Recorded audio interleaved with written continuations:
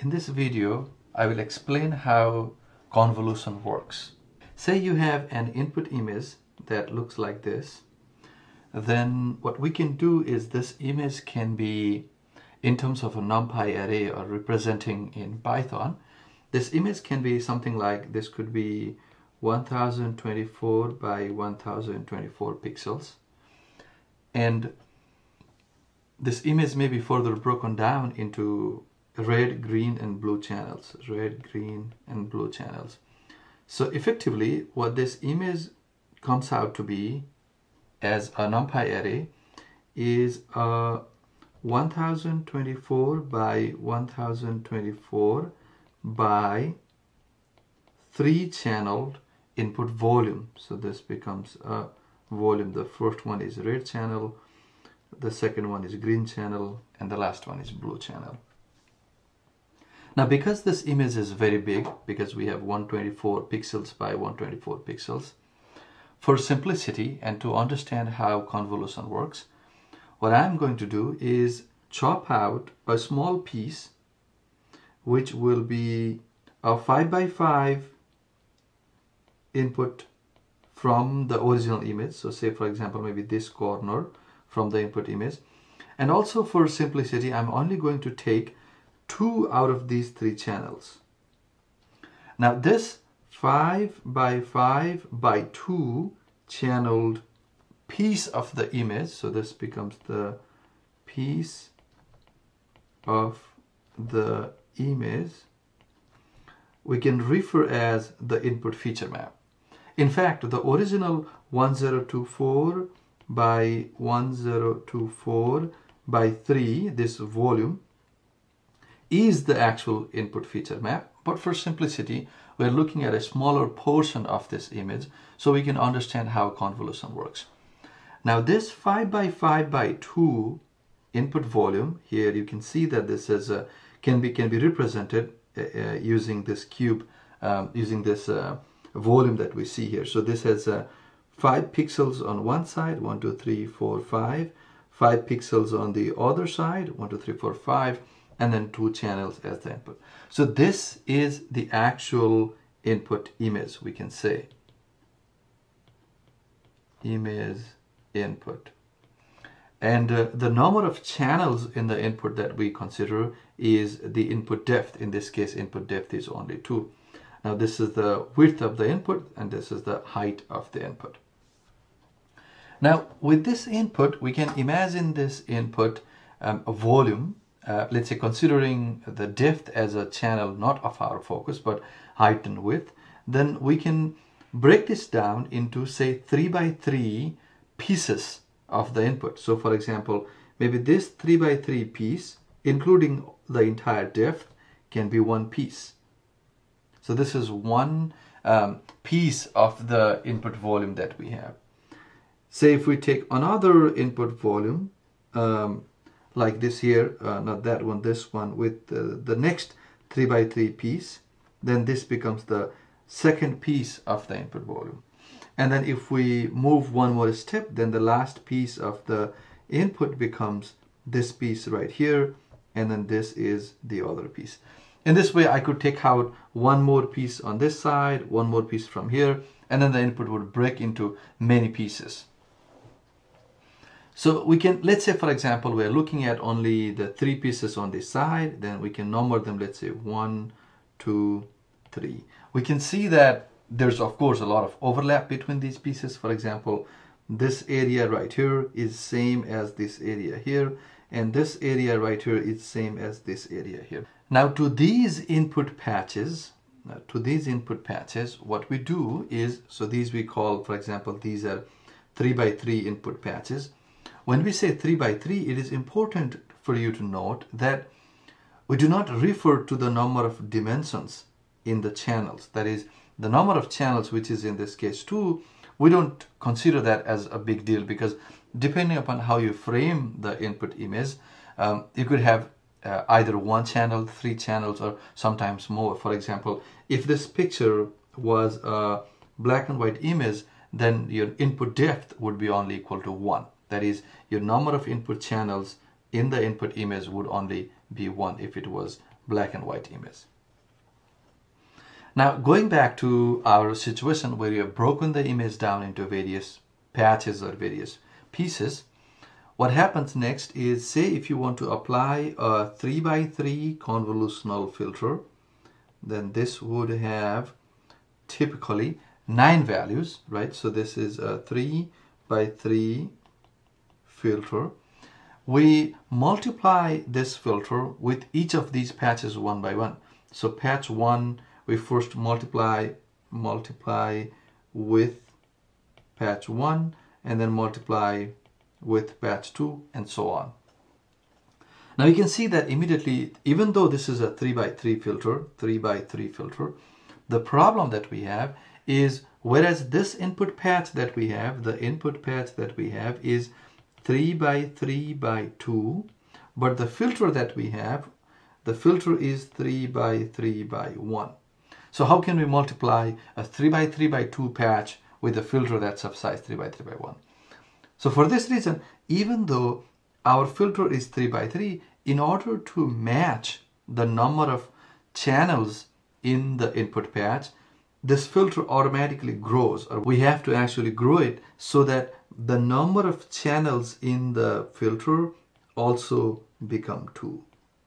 So for this reason, now this filter also, even though it is, a, it is still a 3 by 3 filter, but the dimensions of this filter actually becomes 3 by 3 by 2. So this is a still a 3 by 3 filter, but any filter of, of a given size has to match the number of channels in the previous input. So for this reason, we increase the number of channels to 2. This means now this filter actually has 3 by 3 times 2 number of parameters total. Of course, plus 1 bias is always there.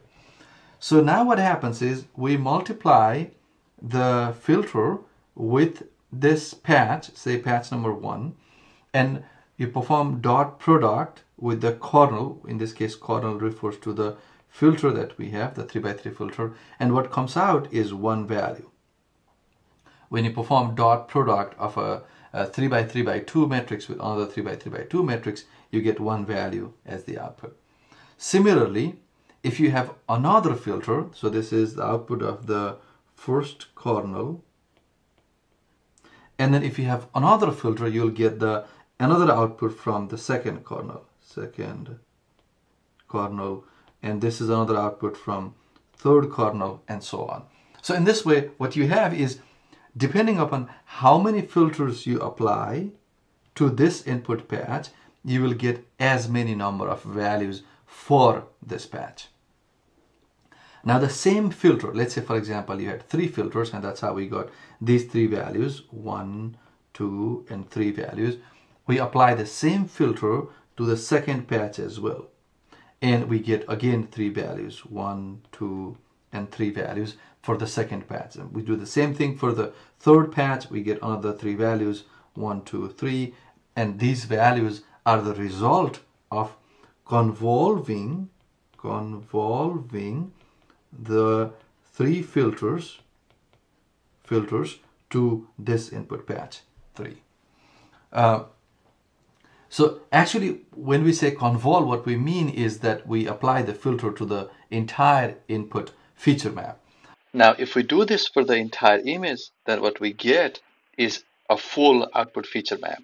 For example, in this case, here's our first output, three values, by performing dot product using our kernel with the first patch, right? So these three values you can imagine to be a part of the output this is 1, 2, and 3 values as it is from the first, um, the, uh, the output transformed patches that we have.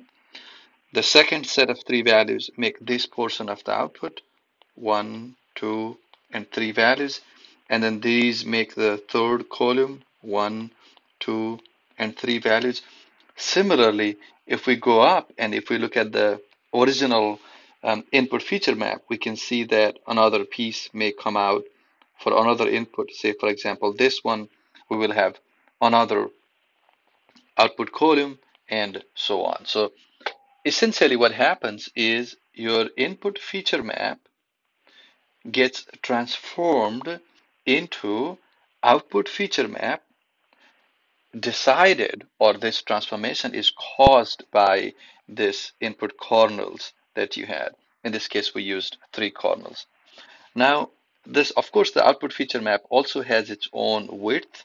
Say this is the width of the output feature map. And let's say this is the height of the output feature map. Uh, so this is the depth. And let's say this is the, uh, uh, let's say the height is over here, height of the input feature, output feature map. Then the width and height of this feature map uh, it may be easier to write width on this side. The width and height of this feature map is you can see that it's decided by the size of the filters that we have, the size of the kernels. Because if our kernel size was, let's say, 5 by 5, then we would have to extract not 3 by 3 patches, but 5 by 5 patches. So the size of the patches defines, of course, there are other parameters too, but mainly the size of the input, the size of the filter decides the height and width of the output feature map.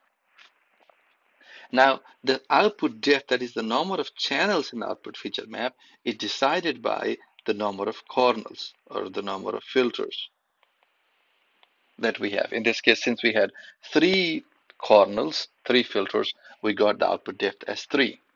Now, one of the common confusions is that if the input image, let's say, has only one channel and it is a black and white image, then that has no relationship with how many channels you would have in the output um, feature map. For example, here we have three channels.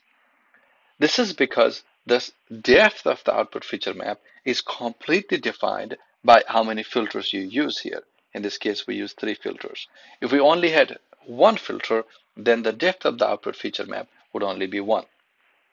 Now, overall, thinking about the implementation of how convolution should be made to work, it's obvious to think that breaking the images down into so many different patches will be quite difficult. Instead, what we usually do is we keep the input feature map intact. That is, we don't break it down into various uh, input patches as we saw over here.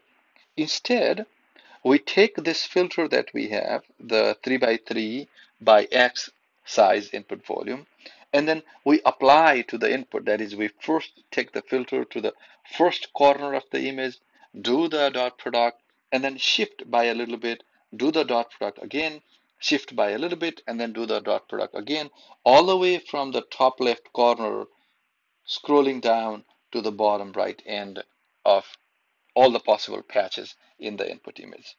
So during the time of implementation, we actually don't have to break the input image, but instead we just write a for loop where we can convolve the filter, move the filter from the top left corner each time performing dot product, and then gradually moving down all the way to the end of the bottom right corner of the input image.